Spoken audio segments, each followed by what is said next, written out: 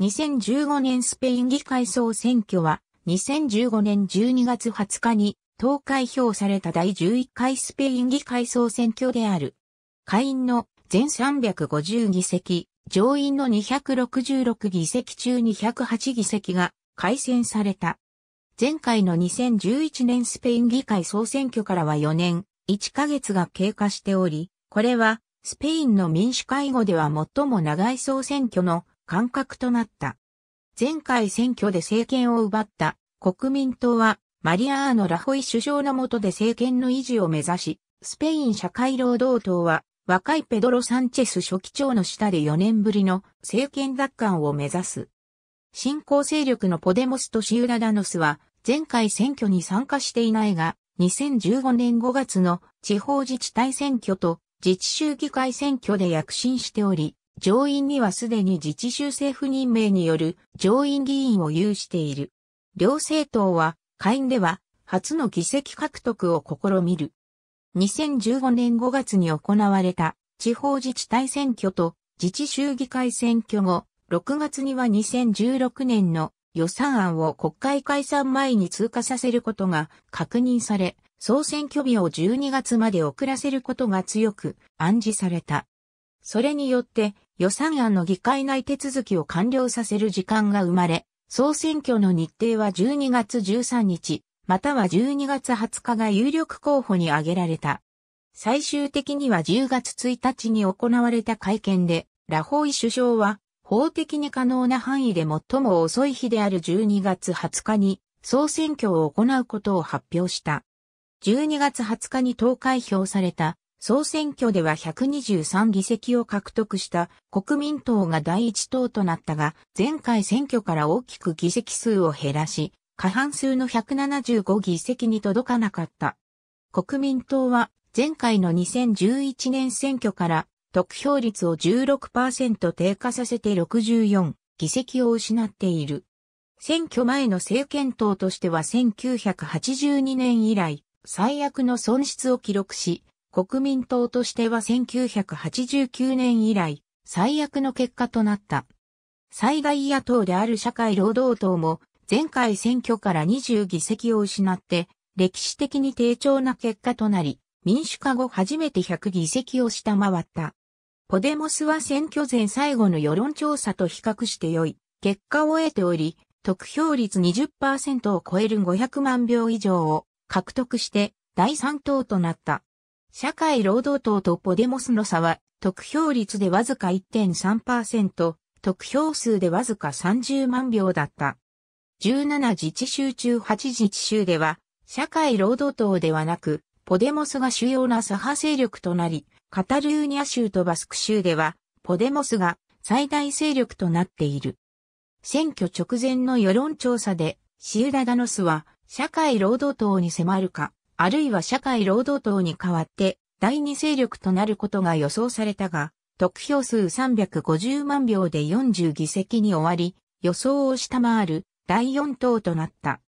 第1党は123議席しか獲得できず、これは第1党として過去最低の結果となった。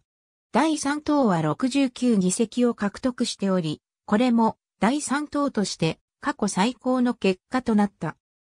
第一党となった国民党のマリアーノ・ラホイは、すべてのスペイン人の総合的な関心に配慮した安定した政府を成立させる意向を示したが、政治思想が似通ったシウダダノスとの選挙後協力に失敗した場合、政治思想が異なる社会労働党の支持、または首相指名投票での棄権が必要となる。このため、首相の選出が難航することが予想されている。スペインの立法府である国会は二院制である。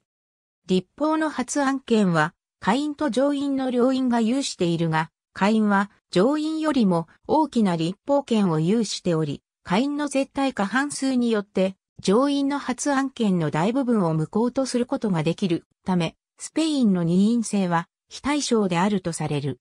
下院のみが首相からの信任を付与、または剥奪する能力を持つ。上院は会員による無効の対象外であるいくつかの排他的な機能を有しているが、上院の権利は限られている。スペインの選挙制度は秘密投票の普通選挙に基づいている。下院350議席のうち348議席は、スペインに50ある県ごとに分けられた選挙区からドント方式かつ原生高速名簿式の比例代表制で選出される。スペインににある自治市のセウタとメリリアからは一人ずつが選出される。下院議員の任期は4年間である。それぞれの選挙区はまずに議席を確保し、残りの248議席は選挙区の人口に比例して配分される。それぞれの選挙区で総投票数の3%以上を獲得した政党、選挙連合のみが議席を獲得する権利を得る。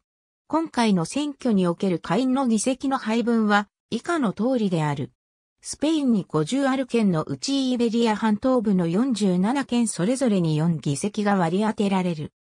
バレアレス諸島州とカナリア諸島州では、規模の大きな3島、マヨルカ島、グランカナリア島、テネリフェ島に、それぞれ3議席が割り当てられ、メノルカ島、イビサ島フォルメンテーラ島、フエルテベントゥーラ島、ラゴメラ島、エルイエロ島、ランサローテ島、ラパルマ島に、それぞれ1議席が割り当てられる。スペインににある自治市のセウタとメリリアには、それぞれに議席が割り当てられる。上院議会選挙には制限連規制が使用され、選挙人は政党、選挙連合ではなく候補者に投票する。4議席を有する選挙区では選挙人は最大3人の候補者に投票することができる。2議席、または3議席を有する選挙区では、選挙人は最大2人の候補者に投票することができる。1議席を有する選挙区では、選挙人は1人の候補者に投票することができる。各選挙区において、得票数が多い順に当選となる。上院議員の任期も、下院議員と同じく4年間である。直接選挙の上院議員選挙で選出された208人の上院議員に加えて、各自治州の立法府は少なくとも1人、さらに自治州の人口100万人あたり1人を加えた数の上院議員を任命する権利を有している。一般的に自治州議会による任命は総選挙と同時には行われず、自治州議会選挙後に行われる。国会議員と自治州議会議員の兼任は禁止されており、もし自治州議会議員が国会議員に当選した場合は、自治州議会議員の座を辞任しなければならない。裁判官、判事、オンブズマン、軍関係者、警察関係者、憲法裁判所や選挙裁判所の関係者は、その職務と国会議員を兼任することができず、例えば国営放送局テレビシオン、エスパニョーラなどの公的機関や国家による独占企業の最高経営責任者、それと同等の立場の指導者もまた同様である。2002年6月の政党法ではスペイン最高裁判所による立候補の制限が認められた。その政党や人物がイデオロギー、宗教、心情、国籍、人種、性別や性的指向の点で差別を行う人物であると判断した場合、また政治的目標を達成するための手段として暴力を先導したり組織したと判断した場合、またテロ組織の行動を支持したり賛美したと判断した場合に、最高裁判所はその政党や個人候補者の立候補に制限を加えることができる。2007年の地方自治体選挙のために発行された選挙法によると、候補者リストには男女それぞれが少なくとも40%を占めていなければならないため、5人の候補者リストの場合には男女それぞれが2人以上含まれている必要がある。選挙管理委員会に登録されている政党と選挙連合が候補者リストを提出できる。選挙管理委員会に登録されていない非選挙者のグループは特定の選挙区の登録有権者の1%の署名を集めることでリストを提出できる。前回の総選挙で議席を得られなかった政党は立候補を行う選挙区で登録有権者の0.1%の署名を集めることが必要となる。スペイン社会労働党は2004年から2011年まで政権党を務めたが、ホセルイス・ロドリゲス・サパテロ首相は悪化する経済状況に苦しめられた。2011年初頭には、サパテロ首相が国会議員を退任して、マドリード州議会議員に転じる意向を示した。2011年5月22日に行われた2011年スペイン議会総選挙で、与党の社会労働党は1977年以来、最悪となる結果に終わり、野党の国民党が圧勝した。2011年12月20日に、マリアーノ・ラホイがスペイン首相に就任し、前任者であるサパテロを苦しませた議会の安定を成し得ると、過半数の186議席を獲得した国民党とラホイ首相は政治的、経済的状況の自由な舵取りを任された。しかし、ラホイ首相は法令の乱用、野党による法案改正の阻止、議会内委員会の阻止などを行い、メディアと野党の双方から強い批判を浴びた。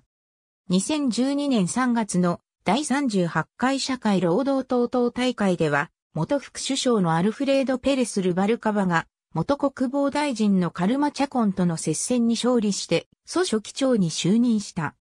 2011年5月の地方自治体選挙と州議会選挙の直前には 15M 運動、またはインディグナードス運動などと呼ばれるスペイン反緊縮運動が起こっていた。さらなる民主化、財政緊縮や増税の停止を求める街頭での抗議活動やデモ運動が増加し、国民党と社会労働党によって形成された二大政党制の拒否に発展した。国民党が政権を握った後には、選挙公約違反や汚職事件が問題化し、民衆による抗議運動は激化した。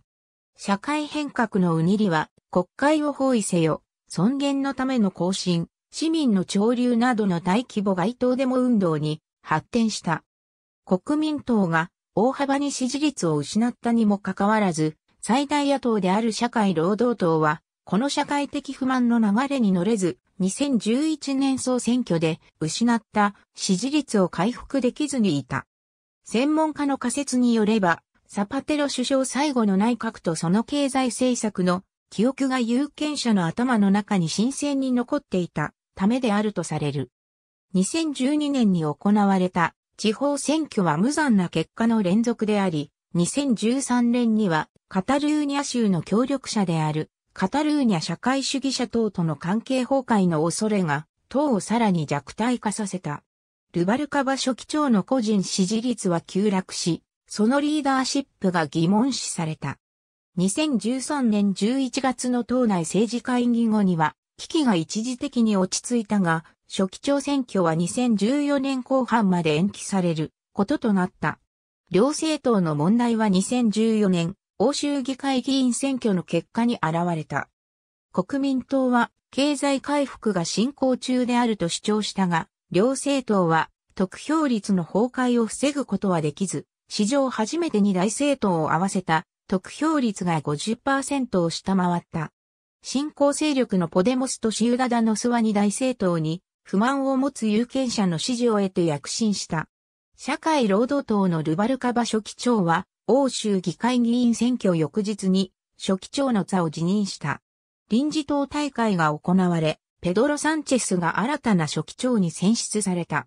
この選挙はまた39年間大いにあるフアン・カルロス一世の退位を早めたとも言われている。健康状態の悪化や不祥事の連続で人気が低迷したこともあって、2014年6月には息子のフェリペがフェリペ6世としてスペイン国王に即位した。4年前に社会労働党に起こったことと同じように、2015年5月の地方自治体選挙と州議会選挙で国民党は大敗した。前回選挙時に得た議席を失っただけではなく、歴史的に右派が強いバレンシア州、マドリード、バレンシアなどでも左派の連立政権が誕生した。社会労働党の結果は成功と失敗が混在しており、選挙前に他政党と選挙協力を行ったおかげで、失っていた多くの議席を回復することができた。マドリード、バルセロナ、バレンシア、サラゴサ、ア、コルーニャ、フェロル、サンティアゴでコンポステーラ、カディスなどの都市で、ポデモスが主導、または推進する自治体選挙プラットフォームが政権に参画し、ポデモスにとっては大成功の選挙となった。